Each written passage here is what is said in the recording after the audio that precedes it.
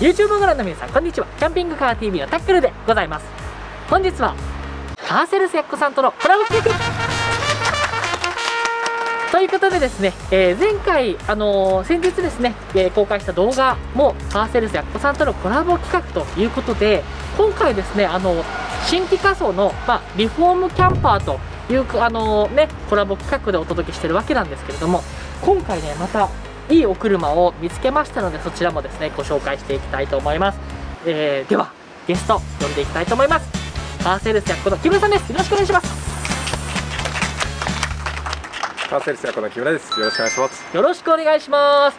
なんかあの2本目なのにまだ緊張してないですか？大丈夫ですか？まあ、この出だしだけはどうしても緊張しちゃいますね。はい。始まれば大丈夫だと思いますので。はい、ありがとうございます。ということで、えー今回あのなかなかちょっとあの手に入りづらいというか、はいこのベースがナローのハイルーフのハイエースそうなんですよね。はい。なかなかなくて探しても、はい。そうなんですよなのでちょっと今回ねいい玉が見つかったということなので、ちょっとご紹介いただきたいなと思います。はい。じゃあ、あの、まずハイエースの方ですね。こちらのレース車両の、まあ、あの、スペックというか、あの、情報に関してご案内させていただきます。えっ、と、まずこちらが平成26年の平成26年はい、はい、そうですね。で、ハイエースの先ほども言ったように、あの標準ボディ、あの標準ボディっていうんですけど、まあ、一般的には多分ナローボディ、ねワイドボディとしてナローボディって言われるボディですね。で、えっ、と見ていただいて分かるように、まあハイルーフになってまそれがいいんですよ、はいちょっと本当に数十センチの差なんですけどす。そうですね。あの旅してるとやっぱハイルーフっていいなっていう風にね思うわけなんですがそうですね。はいじゃあちょっとその室内もはい。いいですか？はいよろしくお願いしはい、おます、願いします。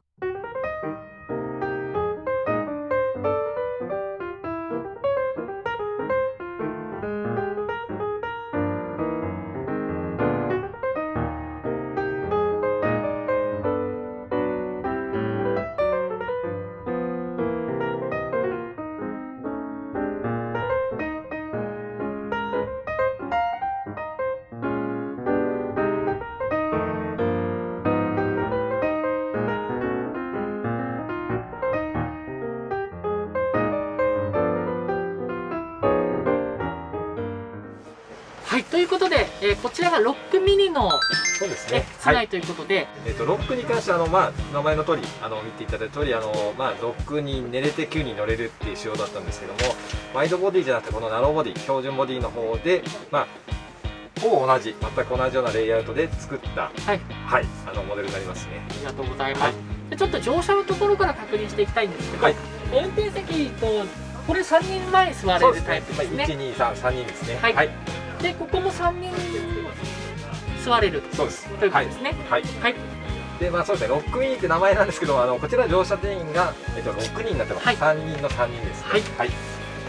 でえっとまあ寝るときは、えーここフルフラットにして、はい。であと2段ベッドにもなるということで。そうですねこれあれですねファミリーにも使いやすいですし。そうなんですよね。あの意外と多分ハイエースのあの、まあ、バンコン検討してる方で意外とこう、まあ、3人までだったらいいけど4人以上。どうしてもやっぱり就寝スペースを欲しい方になるともう2段ベッドにならざるを得ないと思うんですそうですよね。はい。おっしゃると思いますねであとはあの、まあ、ちょっと具体的に言うと、まあ、ここの家具までの寸法のベッドお子さんしか使えないベッドってのは多いんですが、まあ、ロックと同じように、まあ、ここまではい。ベッドとして使えますので、はい。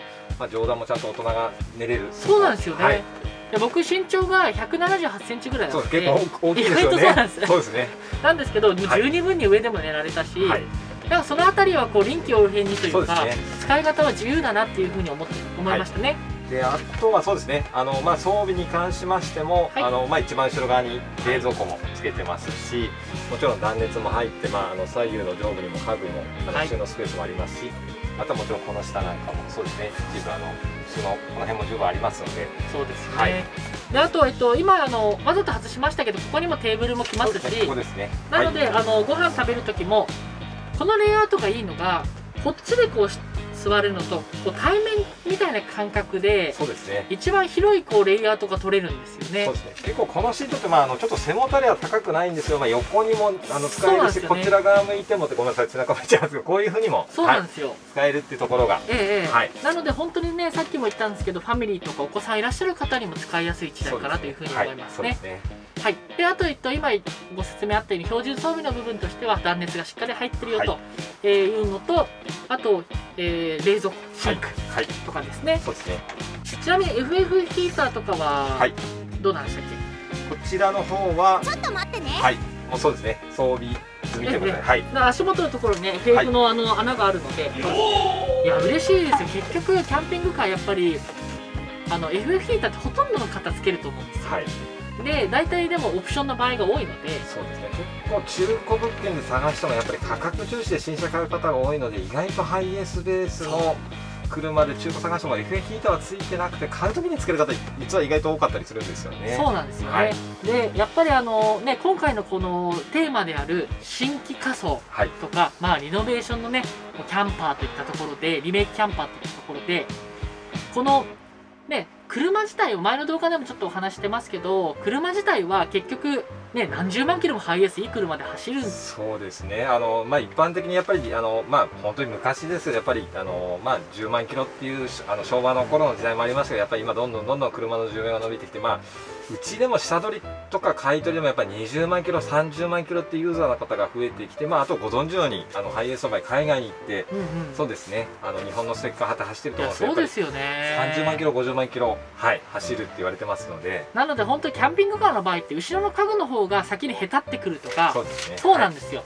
なのでこうやって新しくしてくれるともう本当にあのなんて言うんでしょう。木材とかこういうなんていうんですかあのものは新品の匂いがしますもんねちょっと。そうんあとえっとちょっと気になるところでねあの伝送関係のところ今ちょっと FF ヒーターとか冷蔵庫とかの話もあったので、はい。ちょっと伝送の部分もお話伺いたいんですけど。そうですね。あの、まあえー、とこういうハイエースはあの、まあ、バンコの場合ちょっと伝送関係細かいオプション設定になっているモデルも多いんですけれども、まあ、標準でサブバッテリー、はい。あと走行充電あとちょっとスイッチ周りあの、まあ後でちょっとあの動画撮ってあるんですがあの、まあ、ご紹介させていただくと例えば 12V のシガーソケットあと USB ソケットあと電圧計なんかも標準であのついてるスイッあチパネル。電圧計もそっか標そうですね。準なんですね。はい、であとはあの、まあ、他のモデルと一緒なんですけどちょっと細かな装備で言うと、まあ、今ちょっとあの新品のカーテンでそうだですね、カーテンもこちらのモデル標準になってますあしそうですか。はい、もちろん断熱も入ってあとちょっと細かいところですが、まあ、あの上のこのボードについてる照明、これも LED になってますのであ。消費電力が少ないタイプですね。ありがとうございます、はい。LED やっぱ明るいし消費電力少ないので。そうなんですよ。結構長時間になればなるほどちょっとあのそうなんですよね。サブバッテリー。じわじわとそうね。じわじわとはい効いてくると思います。はいありがとうございます、であとまあそうですねこちらのシート生地あのまあレザー調の生地になってますので、はい。まあ汚れにくい手入れしやすいお掃除しやすいペット飼ってる方でもまあすごくそうですね。そうはい僕もあのこういうレザー生地の乗ってるんですけど結局拭き取れるのでそうですね。これね僕個人的には結構好きなんですよ、はいそうですね。結構あのファブリック調というかあの布のシートっておしゃれだしなんかソフトですごくいいんですけどやっぱり汚れが入ってっちゃうし染み込んじゃうしっていう。ではい。埃りとかもやっぱりねこうちゃんと吸い取ったりとかそうね。いう手入れも必要なので、はい。これを拭き取るのがメインなのでねこれ僕好きなんですよね。そうですね。まあ掃除機使わなくても本当に拭くだけでもお掃除普段できると思うので。はい。はい、ありがとうございます。で一通りご説明はいただいたと思うので。そうですね。はい。じゃあこのはいお値段、そうですね。い、いですか？はい、でこちらの、えーモデルなんですが、まあえーそうですね、じゃあまとめさせていただくと、平成26年生ハイエース、はい。標準ボディでハイルーフ、で、えー、と FA ヒーター冷蔵庫、あのまあ、もちろん新品仮装で、まあ、細かいところ、断熱もいろいろ含めて、カーテンも含めて全部ついてます。はい。でこちら、えー価格にかに関して一番こだわって作りました。はい、はい。お願いします。はい、価格の方なんですが、こちらです、えー、269万8000円、車両本体、それで込みになっております。安い。はい。この価格で後ろ新品のキャンピングカー絶対手に入んないですよ。そうですね、価値はやっぱりキャンピングカー後ろにねね。強くありますから、はい、おっしゃる通りだと思います。はい、そういったところもありますしやっぱりこのね、あのーまあ、ちょっと、まあ、前回も軽く言いましたけど結局エコじゃないですか。そうですね。こういうのって、はい。でやっぱキャンピングカーってガソリン使ってどっか旅してっていう遊びですけどあのそういったところのはい。ユーザーのとしての意識もやっぱり変わってくると思いますので、えーちょっとこのね僕の動画でそういったところもお伝えできればなと、はい。はい、思った次第でございます。ということでですね、えー本日もカーセールスやこの木村さんに、えーご出演いただきましてありがとうございます。はい、ありがとうございました。であのカーセールスやっこさんの、えーホームページとか SNS とか概要欄に貼っておきますので、えーそちらですねぜひご覧ください、はい、よろしくお願いします。では最後木村さんカメラに手を振っておしまいになりますはいよろしくお願いいたしますそれではまたさようなら